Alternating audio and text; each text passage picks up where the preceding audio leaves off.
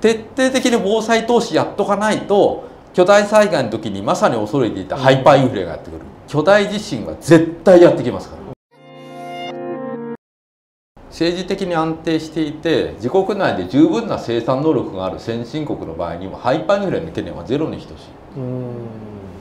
だからそんなこと起きないです、ただ日本で僕はハイパーインフレが起きる懸念っていうのはあると思う。戦争以外に戦争でものすごく攻撃を受けて生産設備が破壊されたらそれはインフレになる懸念はあるけれど、戦争以外でハイパーインフレになる懸念は実は日本はあると思います、何だと思います？戦争以外ですか、うん、今例えば飲食店がどんどん潰れているような感じで、うん、まあ、生産能力がとにかくなくなること。経のことだと思うんですけど。それ系のことそれ系のことです。それ系のことです。えっと何でしょう。もう巨大災害ですよあ首都直下型地震になって南海トラフ地震になって、あと30年以内の間に70%以上の確率でやってくる。巨大地震は絶対やってきますから。100%の確率でやってきますから。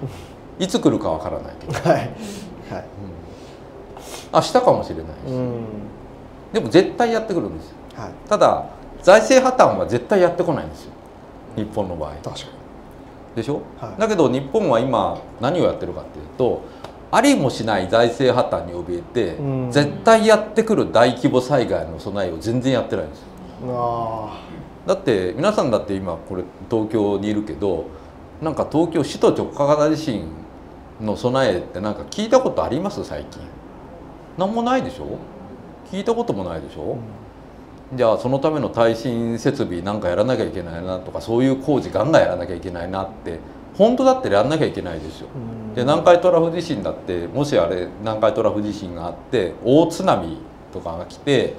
太平洋ベルト地帯とかね、ああいう工業地帯が壊滅的な打撃を受けたらえらいことになりますよ。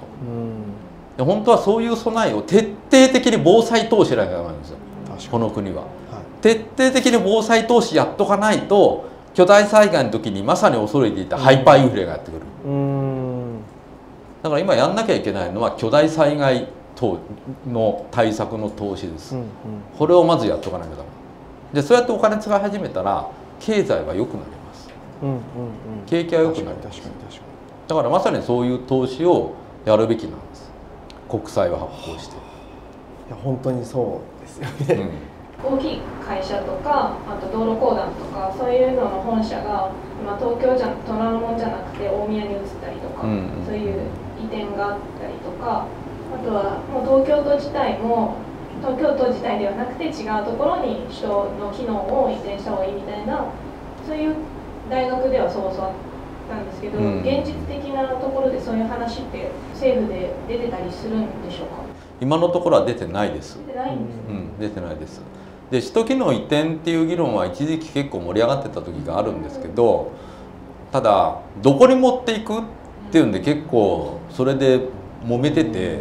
全然話が前に進まないっていうことがありました。で今はもうほとんどされてないですね。うん、安藤さんがおっしゃったようにその防災に投資するべきだっていうので議論がされてほしいなと思いました、うん、安藤さんのこの素晴らしい意見っていうかこれは自民党内には通らないものいやなかなか通らないですね。でなんでかっていうとやっぱりこれ財政の壁があるんですよ、やっぱり財政支出を拡大するのは無理だと、で防災投資やらなきゃいけないっていうのは分かるけれどもこんだけ財政厳しくて で高齢化が進んで福祉財源にお金を回さなきゃいけないので防災投資の方の予算をつけるのは無理だよねっていう話になっちゃってるんですよね。でもそれは繰り返しますがその財政についての誤解から来てるってことですね。